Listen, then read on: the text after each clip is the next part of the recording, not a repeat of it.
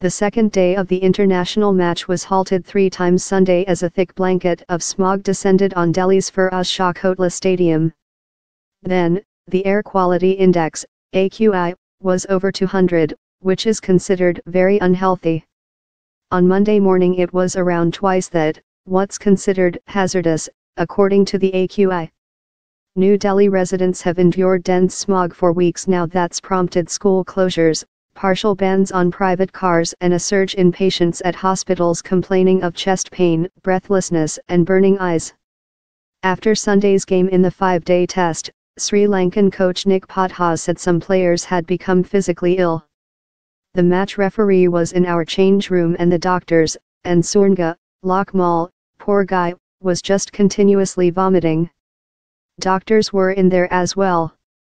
Dhananjaya De Silva was vomiting. It was tough, Pothas said, referring to two of the players. The third time play stopped was because Sri Lankan fast bowler Lakmal walked off the field.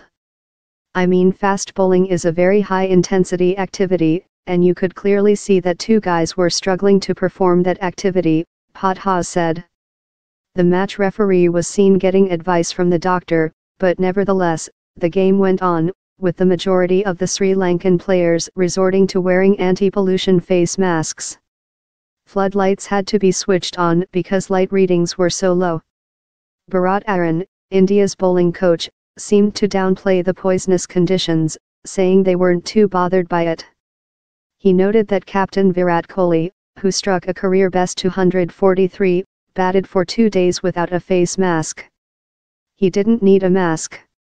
We are focused on what we need to do. The conditions are the same for both the teams.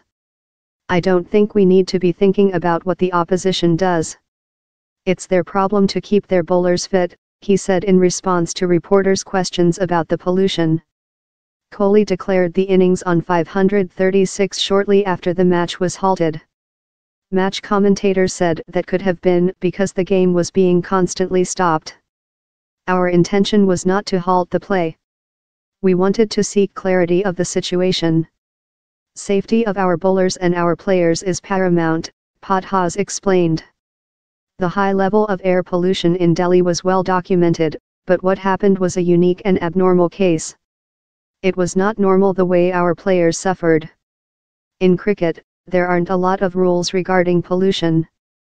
The decision of whether to go on is ultimately up to the match referee conditions aren't expected to improve anytime soon, pollution levels are expected to remain high until winter ends. Temperatures are forecast to remain in the low 20s, mid 70s Fahrenheit, this week with little to no wind and no chance of rain, according to News Total's weather team.